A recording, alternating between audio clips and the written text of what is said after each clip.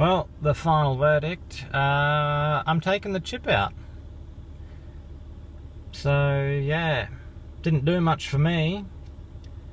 Did about half an hour of um, pretty extensive testing along the same stretch of road that I've always driven this vehicle sort of on, so I know if there would be any difference.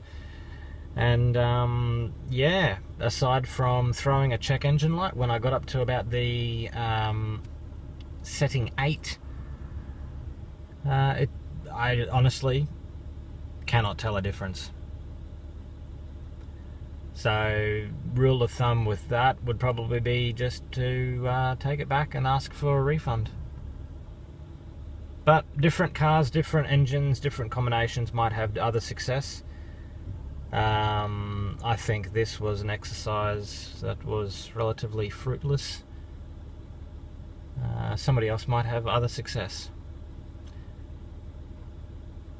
Thank you all.